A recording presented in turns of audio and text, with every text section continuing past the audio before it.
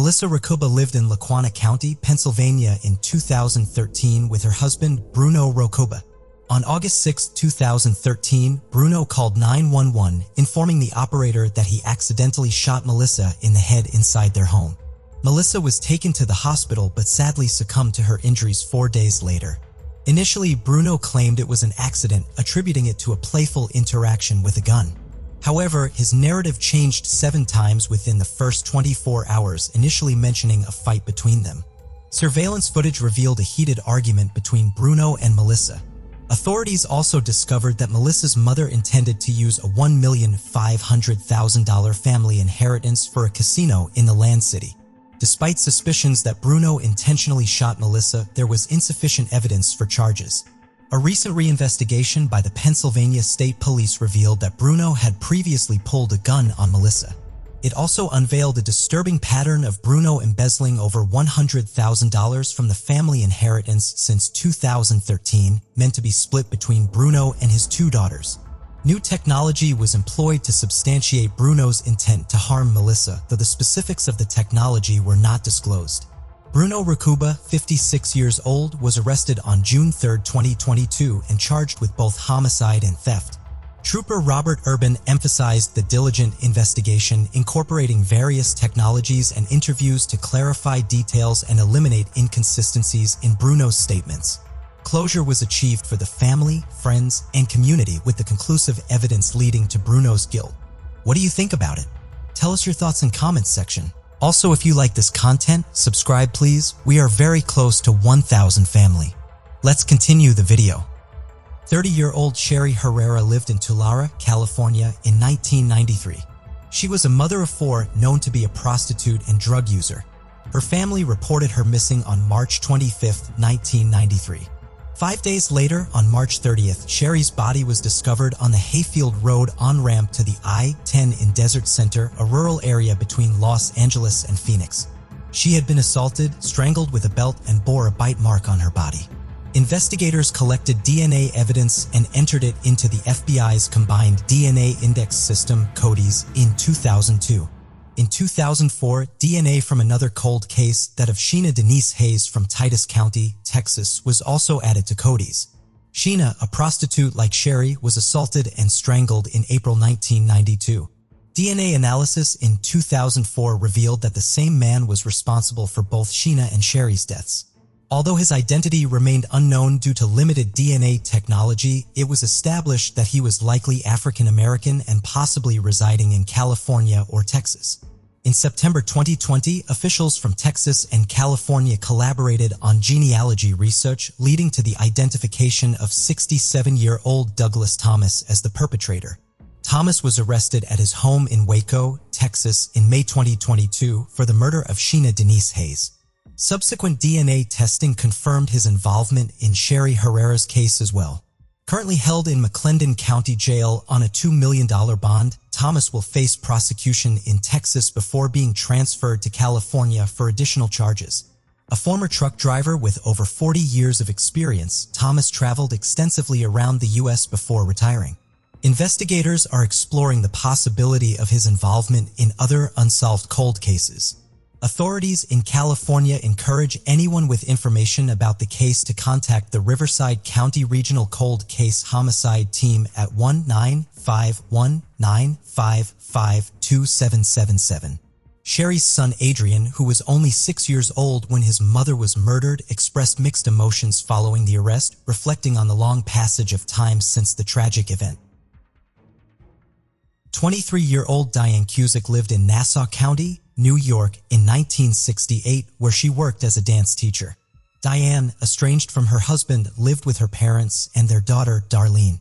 On the night of February 15, 1968, Diane called her parents, informing them of her plan to go to the mall to buy shoes. Tragically, she never returned home. Worried after a few hours, Diane's father drove to the mall and discovered her body in the back seat of the family's 1961 Plymouth Valiant in the parking lot of the Valley Streams Green Acres Mall. Diane had been brutally beaten, assaulted, suffocated, and had defensive wounds on her hands.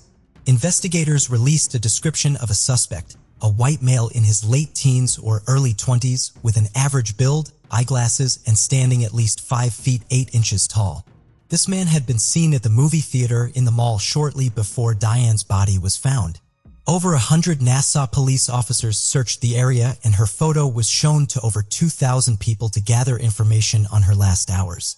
DNA belonging to the suspect was collected from the crime scene. Diane's estranged husband was ruled out as a suspect as he was working his part-time job as a taxi driver during the crime. Despite initial efforts, the trail grew cold and leads dried up over the years.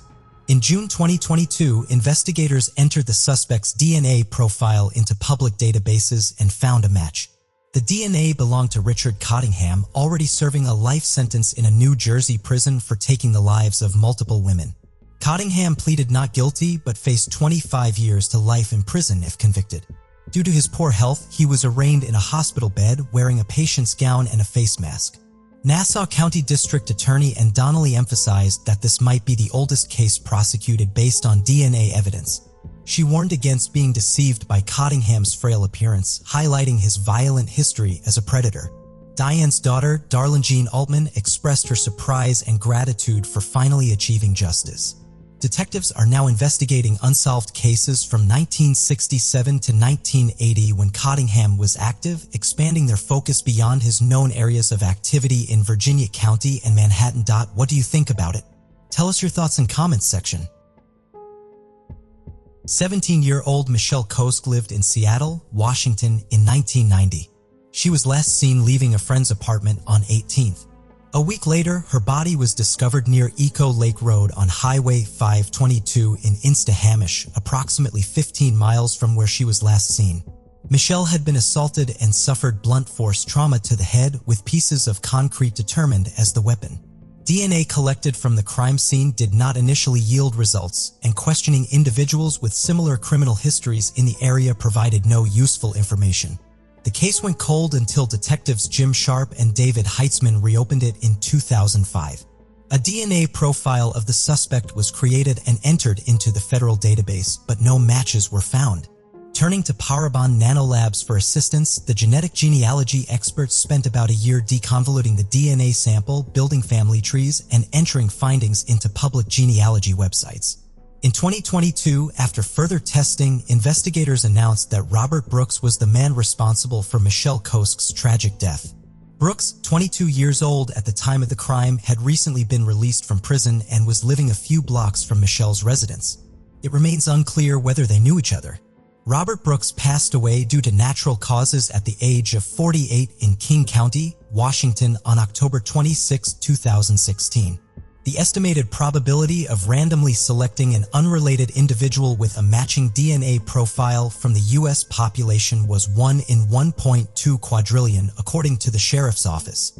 Detective Sharp, who also played a role in solving other cases like those of Jay Cook and Tanya Van Cuylenborg, received praise from both the Sheriff's Office and Parabon Nanolabs. During a news conference, friends and those who knew Michelle, including her friend Melissa Johnson, expressed relief that the case had finally been solved. Melissa, who had known Michelle since she was 10 years old, shared thoughts about the impact on their lives and expressed hope that Michelle can now rest in peace. Sabir Chatterjee lived in Houston, Texas in 2002, originally from Sri Lanka. He owned and operated the Coastal Gas Station convenience store. On February 15, 2002, around 12.50 p.m., officers from the Oak Ridge North Police Department responded to Sabir's store following reports of gunshots. Subsequent investigation revealed Sabir's lifeless body in the office area having suffered a fatal gunshot to the head. Additionally, a significant sum of $100,000 in cash had been stolen from the store. Forensic evidence, including DNA found under Sabir's fingernails and blood from the suspect, was collected at the crime scene. Despite limited leads and vague witness descriptions, law enforcement faced challenges in solving the case. With no surveillance footage available, the investigation went cold for nearly two decades. Detective Kent Hubbard, the first responder to the scene, persisted in the investigation. After discovering how law enforcement in California successfully used genealogy and DNA to solve cold cases, Hubbard reached out to Parabon Nanolabs. This organization specializes in genetic genealogy, phenotyping, ancestry, and kin analysis to assist law enforcement in identifying potential suspects based on DNA evidence. With the support of the Oak Ridge Police Department and the Montgomery County District Attorney's Office, Hubbard secured funds for testing. In 2018, Parabon Nanolabs identified three potential men whose DNA might match the sample from the 2002 crime scene. In 2019, investigators collected a DNA sample from one of the men, Martin Isaac Tells, at a restaurant. Subsequent DNA testing confirmed on December 4, 2019 that Tells' DNA matched the one found at the crime scene. On December 10, 2019, Tells was arrested for the crime. Following his arrest, Tells confessed to taking Sabir's life during a robbery, explaining that Sabir's blood was present at the scene because he had struck Tells in the head with a telephone in self-defense. While the case was pending, Tells, who had been out on a $500,000 bail, cut off his GPS monitoring device and fled to Mexico. Agents from Homeland Security and the U.S. Marshals successfully tracked him down and brought him back to the U.S. Tells pleaded guilty on June 28, 2022 and was subsequently sentenced to 60 years in prison.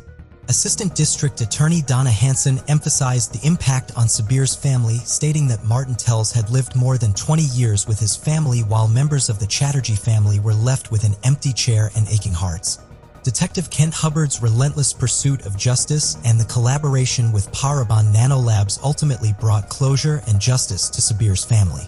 District Attorney Brett Ligon acknowledged Detective Hubbard's determination, stating that his efforts turned what was wrong into something right and hoped that the measure of accountability would provide relief to the grieving family. What do you think about it? Tell us your thoughts in comments section. 37-year-old Lena Reyes Geddes lived in Youngstown, Ohio with her husband, Edward Geddes. On April 8, 1998, Lena embarked on a trip from Ohio to Dallas and then to New Mexico to visit her family. Unfortunately, this would be the last time anyone saw Lena alive. Six months later, with no sign of Lena since she left home, Edward reported her missing. Investigators found it peculiar that it took six months for Edward to report her missing, leading to him being named a suspect. However, concrete evidence against him was lacking. In October 1998, Edward was interviewed by the police, claiming he dropped Lena off at the airport for her planned flight from Pittsburgh. On April 20, 1998, an unidentified deceased female in her late 30s to mid-40s was discovered along State Route 276 near Maiden Springs in Utah's Garfield County. The woman had been shot, her hands severed, and she was wrapped in plastic bags, duct tape, rope, and a sleeping bag before being placed inside a carpet. Despite extensive efforts by the Garfield County Sheriff's Office and the Utah State Bureau of Investigation, the woman remained unidentified and the case went cold. She became known as the Maiden Water Jane Doe. In 2018, Ohio updated Lena's missing persons file, obtaining a picture from the U.S. Department of Homeland Security Immigration and Customs Enforcement. A California citizen researching true crime cases connected the Maiden Water Jane Doe case to Lena, noting a mole in the right ear. Utah authorities were informed and Lena's sister provided DNA swabs confirming the doe's identity. Investigators sought to determine who took Lena's life, considering Edward Geddes and another individual, Scott Kimball, who had a history of violence but was ultimately ruled out as a suspect. DNA belonging to a male was found on the rope at the crime scene. Attempts to compare it to Edward's DNA were hindered by his cremation, but family members provided samples. In 2022, it was confirmed that Edward Geddes's DNA matched the DNA found on the rope. Investigators announced in June 2022 that there was enough evidence to conclude he was responsible for Lena's death and to close the case. Despite the frustration that Edward is not alive to face charges, the closure provides some relief. Investigators found no evidence that Lena had traveled, believing the trip was a ruse by Edward. The Utah State Bureau of Investigation agent Brian Davis highlighted the closure and answers the case brought. Lena's sister, Lucero, expressed a sense of vindication after two decades of seeking answers, saying she is now bringing her sister back home. What do you think about it? Tell us your thoughts in comments section. 22-year-old Rashid Young lived in Pottstown, Pennsylvania in 2019, approximately 40 miles northwest of Philadelphia. He shared a residence with his boyfriend, Kashan Sheffield, who was 17 at the time. Rashid disappeared on August 19, 2019, and his family and friends subsequently received text messages from his phone, severing ties with them. A little over a month later, decomposed remains of an unidentified male were discovered in the Germantown neighborhood of Philadelphia by a landscaper. The victim couldn't be identified during the initial post-mortem examination. In December 2019, two months after Rashid was last seen, Kashan reported him missing. Unfortunately, the connection between the unidentified body and Rashid's disappearance was not initially established, leading to over two years of unidentified remains. Montgomery County investigators intensified their efforts and Rashid's family hired a private investigator. Through a confidential informant, cell phone records, and other investigative means, it was discovered that Rashid had been in a relationship with Kashan for two years before he disappeared. Investigators, previously unaware of Kashan's involvement, interviewed him. Kashan claimed to have lost contact with Rashid after a fight, but investigators suspected he wasn't fully disclosing what he knew. A witness eventually came forward admitting to assisting Sheffield in burying Rashid's body at Awbury Arboretum. Investigators confirmed that the unknown male buried in the arboretum was indeed Rashid. They also discovered that Kashan Sheffield made numerous withdrawals from Rashid's $2 million trust fund, was using Rashid's car, sent messages to Rashid's family and friends cutting ties, impersonating Rashid, and intentionally flooded Rashid's house to eliminate potential evidence. On June 1, 2022, Kashan Sheffield was arrested at his home in Philadelphia in connection to the case. He is currently in custody at the Montgomery County Detention Facility without bail. Investigators provided a summary of the events in their press conference, stating that Sheffield fatally stabbed Rashid at their home on August 19, 2019. He later intentionally flooded the residence, disposed of Rashid's remains, and buried him at the Arboretum. Sheffield continued to access Rashid's social media accounts, giving the appearance that Rashid was still alive from August to December 2019. While investigators have not disclosed a motive, they described the crime as domestic violence related. Sheffield faces charges including taking Rashid's life, theft by unlawful taking, receiving stolen property, possessing an instrument of crime, and access device fraud. On December 8, 1993, a homeowner in Choctaw County, Oklahoma, discovered human remains in her backyard and promptly called 911. Deputies from the Choctaw County Sheriff's Office responded to the home and reached out to the Oklahoma State Bureau of Investigation for assistance. An autopsy conducted by doctors in the Oklahoma Chief Medical Examiner's Office determined that the remains belonged to a male baby who had been born alive. Tragically, the medical examiner ruled that the baby boy's throat had been slashed. Despite numerous interviews conducted by investigators after the discovery, the case went cold. In 2020, law enforcement revisited the case to identify the boy, submitting DNA evidence collected from the scene to Parabon Nanolabs, known for providing phenotyping services to law enforcement agencies.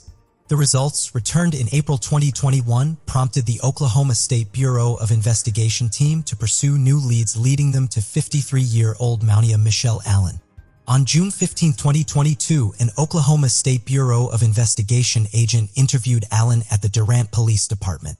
During the interview, Allen agreed to submit DNA samples to determine if she was the biological mother of the unidentified baby, Baby Doe. Shortly after providing the DNA sample, Allen admitted to being the biological mother and, during a subsequent interview, confessed to cutting the baby's throat shortly after his birth. At the time of the incident, Allen worked at a daycare center and investigators noted that she had not disclosed her pregnancy or delivery to anyone. Mounia Michelle Allen was booked into the Choctaw County Detention Center and is being held without bond.